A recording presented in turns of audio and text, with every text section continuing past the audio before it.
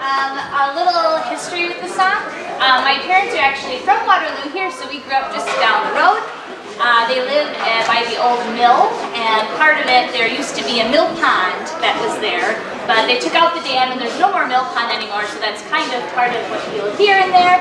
And when there was the mill pond, there's many, many geese that would come around often. So, okay, here we go.